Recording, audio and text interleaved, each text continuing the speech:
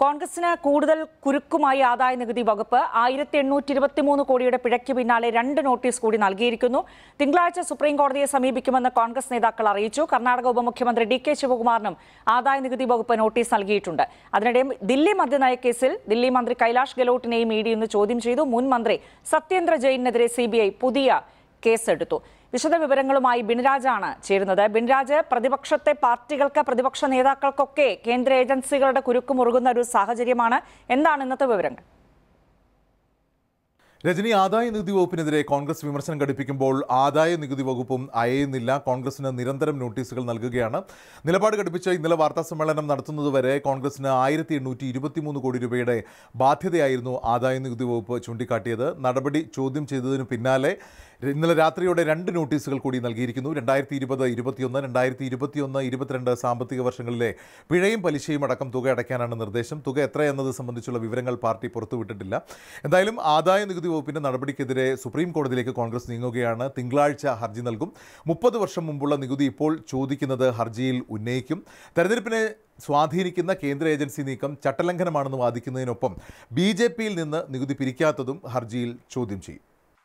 कल जब हम प्रेस कॉन्फ्रेंस कर रहे थे तब तक चार नोटिस हमें मिले थे कल रात को दो और नोटिस मिले हैं और आज मैं नहीं जानता हूं और कितने नोटिस आएंगे എ ഐ സി സിക്ക് നോട്ടീസ് നൽകിയതിനൊപ്പം കർണാടകയിലെ നേതാവ് ഡി കെ ശിവകുമാറിനും ആദായ നികുതി വകുപ്പ് നോട്ടീസ് നൽകിയിരിക്കുന്നു എന്നാൽ കോടതിയിൽ തീർപ്പായ കേസിലാണ് നോട്ടീസ് എന്നാണ് ഡി കെ ശിവകുമാർ പ്രതികരിച്ചിരിക്കുന്നത്. അതേസമയം ഇ ഡി നടപടികൾ ആം ആദ്മി പാർട്ടിക്ക് വെല്ലുവിളിയാകുമ്പോൾ മറ്റൊരു മന്ത്രിക്ക് കൂടി നോട്ടീസ് നൽകി ഇന്ന് ചോദ്യം ചെയ്തു.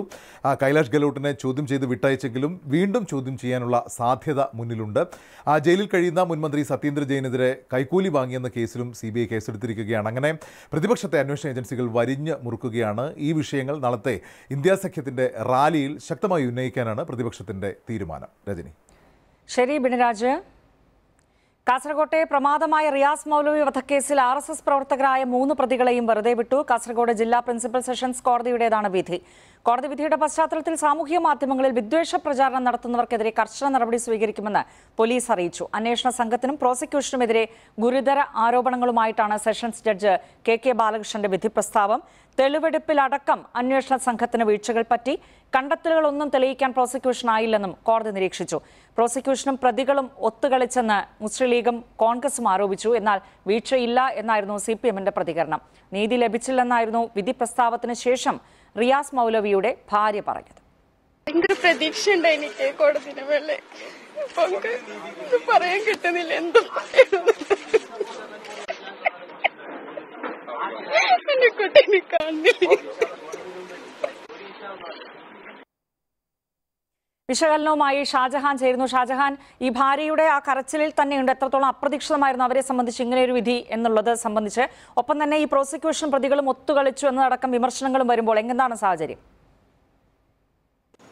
രജനി പ്രോസിക്യൂഷനെയും പോലീസിനെയും കൃത്യമായി എണ്ണിപ്പറഞ്ഞ് വിമർശിക്കുന്ന അവരുടെ കഴിവുകേട് തെളിയിക്കുന്ന തരത്തിലുള്ള വിധിയാണ് കാസർഗോഡ് സെഷൻസ് കോടതിയുടേതായി ഉണ്ടായിരിക്കുന്നത്. പ്രധാനമായിട്ടും ഇതിൽ പല തെളിവുകൾക്ക് നേരെയും കണ്ണടച്ചു. പ്രതികൾക്ക് ഇതിലുള്ള പങ്ക് കണ്ടെത്താനാവുന്ന രീതിയിലുള്ള മതിയായ തെളിവുകളില്ല.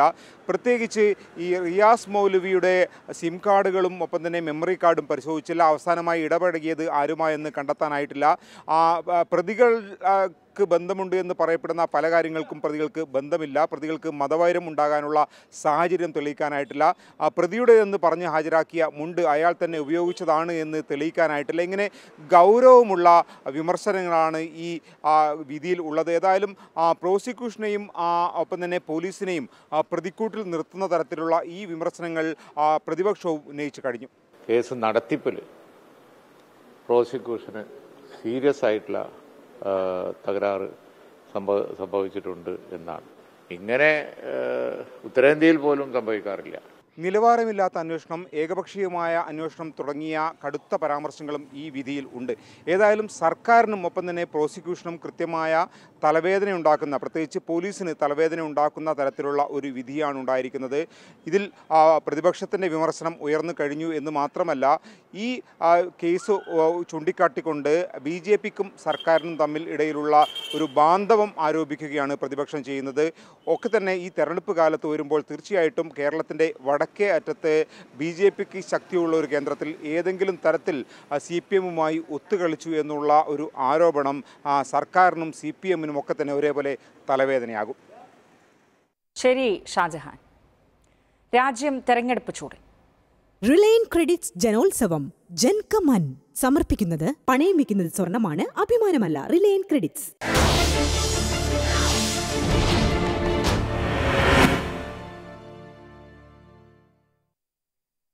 കേന്ദ്രത്തിനും കോൺഗ്രസിനും രൂക്ഷ വിമർശനവുമായി മുഖ്യമന്ത്രിയുടെ മണ്ഡല പര്യടനത്തിന് തുടക്കം. ബി ജെ പിയുടെ എല്ലാ ജനാധിപത്യ വിരുദ്ധതകൾക്കും തപ്പുകൊട്ടുന്ന പാർട്ടിയാണ് കോൺഗ്രസ് എന്ന് മുഖ്യമന്ത്രി പിണറായി വിജയൻ പറഞ്ഞു. റോബർട്ട് വദ്രയ്ക്കെതിരായ ആരോപണം മുതൽ സാന്റിയാഗോ മാർട്ടിന്റെ ബോണ്ട് വിഷയം വരെ ഉയർത്തിയായിരുന്നു മുഖ്യമന്ത്രിയുടെ വിമർശനം.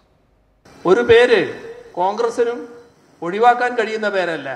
അത് ഈ കേസിന്റെ തുടക്കത്തിൽ പ്രിയങ്ക ഗാന്ധിയുടെ ഭർത്താവിനെ കൂടി വാദ്രയെ കൂടി ഉൾപ്പെടുത്തിക്കൊണ്ടാണ് ആ കേസിന്റെ തുടക്കം.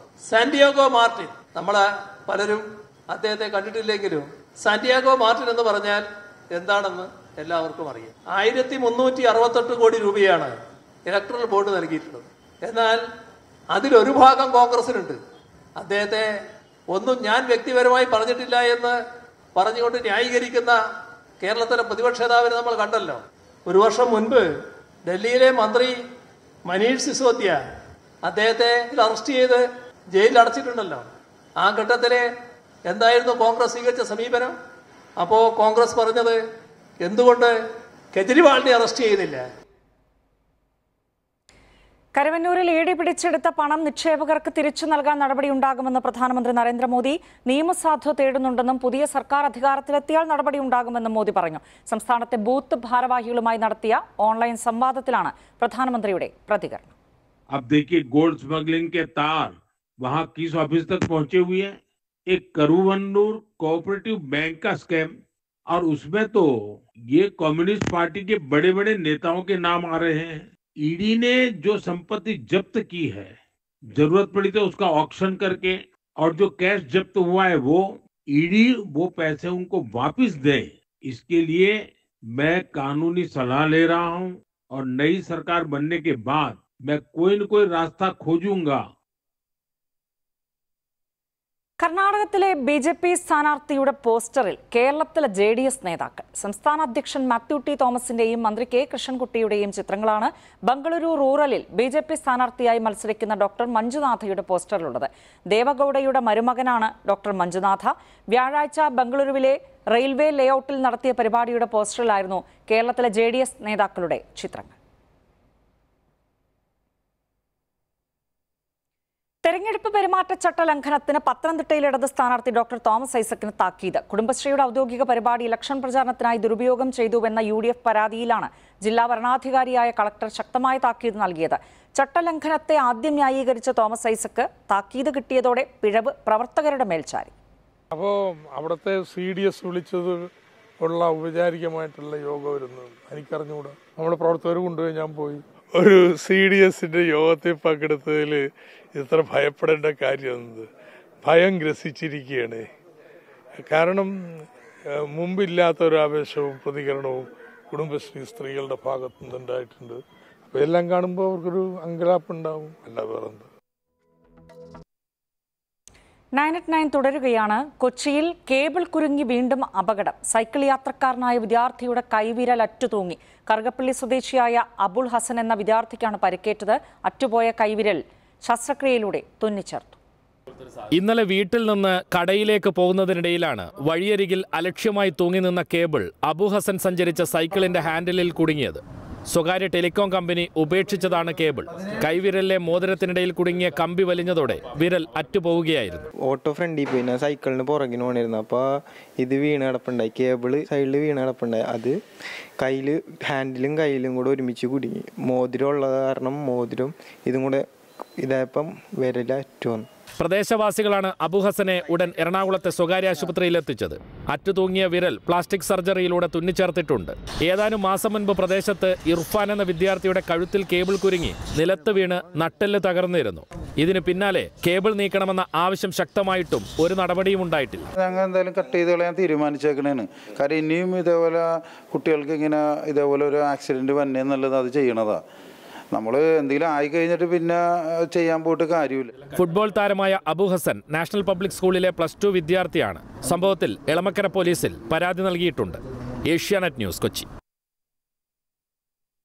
സംസ്ഥാനത്ത് ഇന്നും റേഷൻ വിതരണം മുടങ്ങി. ഇ പോസ് മെഷീന്റെ സെർവർ തകരാറിലായതോടെയാണ് റേഷൻ വിതരണം തടസ്സപ്പെട്ടത്.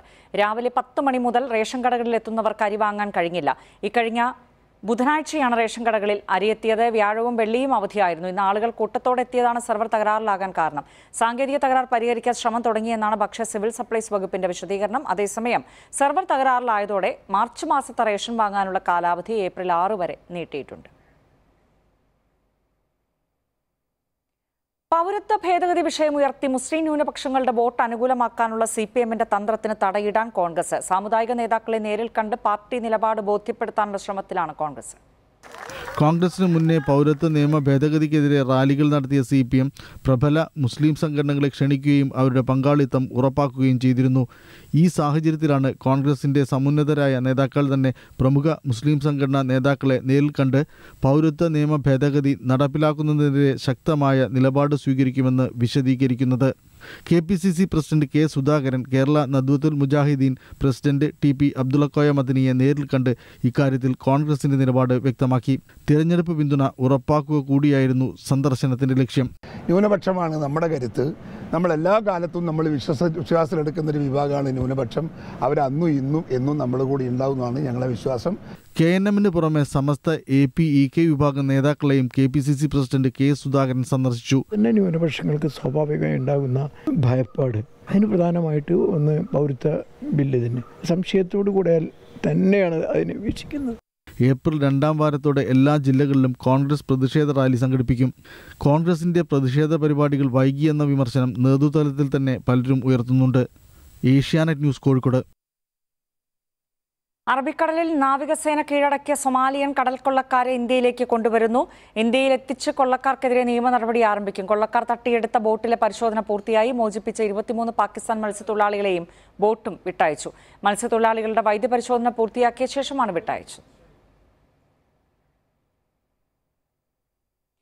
ഭിന്നശേഷിക്കാരനായ പതിനാറുകാരന് സംരക്ഷണ കേന്ദ്രത്തിൽ വെച്ച് ക്രൂര മർദ്ദനമേറ്റതായി പരാതി. പത്തനംതിട്ട തിരുവല്ല ചാത്തങ്കരയിലുള്ള പതിനാറുകാരനാണ് മർദ്ദനമേറ്റത്.